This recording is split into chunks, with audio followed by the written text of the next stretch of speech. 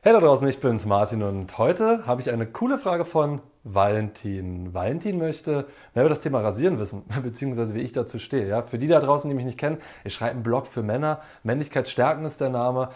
Geht um das Thema Mannsein in der heutigen Zeit, wie sich die Identität geändert hat, etc. pp. Ja, und da beantworte ich eben Fragen, wie zum Beispiel die von Valentin. Rasieren, ja, Achselhaare meint er, ist klar, aber wie ist zum Beispiel mit Beinen? Das Interessante ist, Valentin, ich finde das gar nicht so klar. Ähm, ich bin auf dieses Thema erst so richtig aufmerksam geworden durch einen guten Freund von mir, den John Eigner, der Fotograf ist und der mich da erstmal so richtig aufmerksam gemacht hat. Der kommt noch aus einer Zeit, in Anführungsstrichen, wo es normal war, dass Männer irgendwie Haare haben. Ja? Äh, und zwar nicht nur im Gesicht, ja, sondern auch unter den Armen und auch am Sack. Ja, und er ist Fotograf, der ist sehr guter Fotograf und der findet es eben eine Schande, dass was, wie, wie pornös die Welt heutzutage geworden ist und warum irgendwie sich alle Männer, weil sie glauben, sie müssen es, zwanghaft alles wegrasieren. Und das hat mich zum Nachdenken gebracht. Das hat mich wirklich, da bin ich ihm noch sehr dankbar dafür, weil ich habe dann zuerst mal nachgedacht, hm, warum tue ich das eigentlich? Tue ich das, um, eine, um eine, einer Erwartung zu entsprechen? Ja, du musst rasiert sein, du musst das und das sein, um einer Frau zu gefallen? Oder ist das tatsächlich was, was ich möchte? Ja, und die Reise dahin war sehr spannend. Dann habe ich wieder alles wachsen lassen und habe ich mal nur eine Sache wegrasiert und so weiter und so fort. Ich habe damit, hab damit experimentiert. Um jetzt auf deine Frage zurückzukommen, das ist, was du mitnehmen kannst, Valentin. Hey, ganz ehrlich, pff, das ist das, ich, ich würde dir nur noch sagen, mach das von dir abhängig, worauf du Lust hast. Ja? Finde das für dich selber heraus. Ähm, ich persönlich rasiere mir deswegen die Achseln, weil, sie, weil, weil ich ansonsten einen sehr intensiven Körpergeruch habe wirklich intensiv, schon nach relativ kurzer Zeit. Und ähm, das gefällt mir persönlich nicht. Zudem finde ich das sehr angenehm, wenn ich viel Sport mache und so, ist ein luftigeres Gefühl. Gefällt mir gut. Deswegen tue ich das. Ja?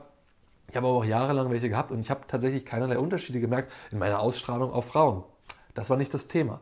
Ja, selbe gilt bei der Schambehaarung. Ich weiß, dass Beine rasieren und Arme rasieren, das ist meiner Meinung nach, nach eher in der schwulen Szene behaftet.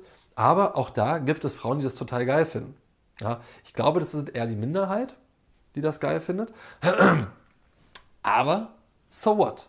Ich würde nicht danach gehen, was andere dir behaupten, Valentin, sondern go for it, probier es aus. Wie fühlt es sich an? Fühlt es sich toll an? Ja?